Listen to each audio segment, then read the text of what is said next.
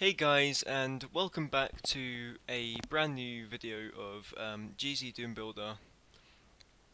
And I know it's been like a month and I'm going to be uploading even less as of this week just gone purely because I've just gone into college and I'm studying game design and so I'm going to have a lot less time to sort of record these videos but I'm going to try my best to start uploading more and as much as possible because despite the fact that I've just had like 7 or 8 weeks off I just haven't really gotten around to it. There's no proper excuse except from laziness. But anyway um, if we just jump straight into doing this now um, for once I have pre-made a map, so instead of jumping into a new map, which is what you will probably do, I'm just going to load this map up. I've named it appropriately, and you can see here I've got a, a room set up with a couple of areas branching off. And um, basically I've just sort of made this to sort of save a little bit of time of texturing and placing down items and actually making the rooms. I still probably will make a couple of extra rooms, but it shouldn't take as long. But it's the same sort of um, concept, just make a starter room, place in a player start so you can test it, and we'll go from there. So if we just sort of jump into the game, and I'll show you what I've got going on in here, basically. And so what you can see here is it's just an empty room in Doom and that was unintentional. Um, but most players initially would you know think oh it's just an empty room. They'd run around they'd start you know hitting use on the walls to see if they could find the thing. And they'd sort of be hitting use and they'd reach this and they'd be like ah oh, well there's a door there so this must be a secret. So walk in the secret is revealed you know as you'd expect from a secret now here I've slightly misaligned the texture so if you do get closed in it's and if and you do somehow manage to forget where the door is that just sort of helps you out a little bit just to be nice. And now everyone else is like right well we found that. What else do we do? I say everyone else I mean any player. But um now notice how if you shoot a wall it leaves those little marks not if you punch it, but so players, most players will probably shoot walls and see this wall doesn't leave anything. This is a false wall. So players can walk through there and find this little secret. It's only got the texturing on one side so the player can see out of it. Sort of like in E1M1 there's that little secret that's a false wall and you can see through one side but not the other. And they're basically the secrets I've laid out since in this episode we are focusing on secrets and false walls because false walls sort of link with secrets. So secrets are a very very basic concept. Literally all you want to do is just create a door. Size is completely up to you and we'll make this room slightly bigger. And then actually publish this WAD as like the WAD of secrets where the main goal is just to find all of the secrets and then just quit when you're done. But um let's not actually do that because most people probably won't appreciate that. So what we want to do is just set this up as a door with a repeatable action, um, player presses use, that will be the trigger so that when you actually hit the use key on the door, in my case it's C, the door will open. And obviously one thing I forgot to do, so this door is set it as a repeatable action. Nice, because that can sometimes mean you can get in one way and not get out again. Okay, so we've set up the door, you know, basic, but, you know, we haven't actually made the door go up and down or anything, but if you press use in this sort of area the door does still go down and up and when you walk into this room it doesn't say secret discovered or anything so what's going on there. First things first, we actually want to make, finish off making the door. so one thing I like to do, if you noticed when we played there, when the door came down, these textures moved with it. Now that's one thing I really don't like, because it makes it look unfinished, so all you do is you click both, you select both from right click in 3D view mode or the um, 2D grid view mode and just hit lower unpegged and that means they don't move down up and down with the roof or the floor. I don't think they move with the floor. They do. Now to stop to stop them moving with the floor, say you're using an elevator, just set them to upper. Now I think you can set them to both. I know you can set them to both. They don't like cancel each other out, but I don't know if it works. No, it doesn't.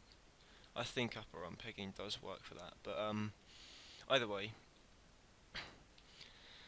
that's not what we're doing a video about, so here we'll just, again, set the texture as that, so it's relatively difficult to find, just misline the texture, not too hard to do, and there you have a room, and again if you just jump into that and you sort of run over to where that room is.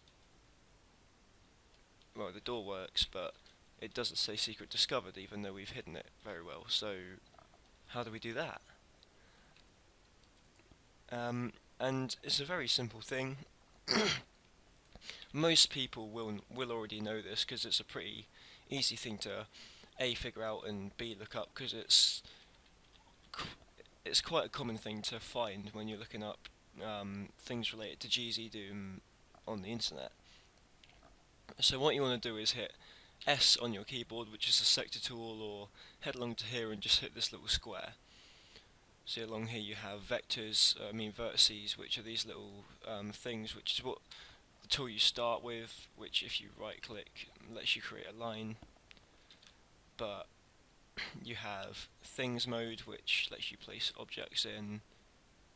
I'll just leave that there because maybe you find another plasma gun inside this secret and it gives you more ammo. Okay. Now I haven't played around with too many of these things but if you just hit sectors mode and right click on the sector that is your secret don't do what I just did I don't know how I did that right click this now we'll, hear, we'll see down here there's like a little special area. This is the only area we want to play with. Don't hit the down arrow because you can't do it here. Um, I think you can set it to secret, but it also gives it some extra effects on the side. I don't know. I think they took it out of this area. If you're using just regular Doom Builder, then it will be in this part. But in GZ Doom Builder, it's in generalized effects. There's a little option called secret. You just set that to yes, and you are done. That's that. That is now a secret. So when you walk over and open this door and walk in, secret is revealed. Now we've got our plasma rifle, our super shotgun, our plasma rifle's ammo, and of course our regular shotgun. Fucking OCD. Um, right, so we've learned how to make a secret. now we want to learn how to make a false wall, right? Well, what I'm going to do is I'm just going to focus on the one that I've already made, so I don't have to go into like making a whole bunch of other rooms. So there's a whole thing of there's a texture here, but if that texture was removed, that would just be a gap because it's not like I've dragged the ceiling down and like made part of the ceiling um, so you can walk through it. But I have placed a texture over a gap which is as you can see I can't really hover over the gap and place a texture there in 3D mode unless there's already a texture there and I want to replace it and then that happens so that that sort of shows you that it is a gap and um, basically, what this is, is just a regular line. It's that simple. if I, actually, if I draw a line here, if I draw a line here, well done brain, nice one. If we go into um, 3D mode, you'll notice that there is nothing there, not here, not here. And we did it directly in front of the player and long enough and big enough for you to be able to see. Well, what you want to do, you see we have middle textures, these are the only ones we want to work with when we're creating false walls. So I'm going to use the um, texture of the wall here. Now, if we jump in, there's nothing this side, but on this side there is. And it goes all the way up to the roof. So, if we just copy this texture along to the other side, it does the same for both sides. And that is how you create a false wall. You can set it to um, impassable and it would just be a very very thin wall if you do that but if you leave it as if you don't tick unpassable then the player will easily just be able to you know clip through that and that's how you make false walls one-sided and double-sided it works for both sides so it doesn't only work for one side so say if I wanted this side where the player isn't facing to be like a wall, I'll literally just take out this texture. There's nothing this side, but there's something that side. And it's just that simple to make them. And um, like I was talking about earlier, if you make it impassable, um, impassable, not impossible, now the player can't walk through it, and the player still can shoot through it, but can't walk through it. And, well, whilst we're on the topic of being able to shoot through it, I might as well. Um, this is also how you make fences, for those who don't know. This is something that I could never find anywhere. So, what you want to do is just go to base, I don't know, uh, use that or something. Doesn't texture doesn't really matter. I'll select it on both sides. I mean, it's kind of got nothing here, but it doesn't matter too much. What matters is we've made a fence that you can see through and shoot through and be shot through, but you can't actually walk through it. I thought I might as well throw that into the video um, because it's useful to know. It's useful when making maps and um, it's something I, I personally struggled to find for many months because it was something that I really, really wanted to use in one of my WADs that I was making. And when I did find it, after many months of searching, I was really pleased. Like, re really pleased. But, um, I'm just seeing if you can shoot through that part. You can't. Ah. Anyway, that should more or less do it for this video. Um, some very basic stuff. Shouldn't be too hard to forget, and if you do, just remember you can always come on down to this video. If any of you need help with anything that's like really small or you don't think would make for a very good video, you know, just drop me a message and I'll see what I can do to help. I'm always happy to help and I'm always happy to make more videos, so don't forget to suggest some videos to me, like little ideas, things that you need help with making, and I'll happily look into it and make a tutorial on it for you. Um, with that being said, if you like this video, be sure to, you know, drop it a like, show your support, I'd really appreciate it.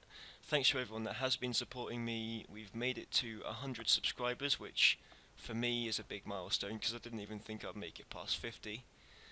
So thanks to everyone who has supported me and thanks to anyone who will continue to support me and you know, give me motivation to continue making these videos because I do love making them, honestly.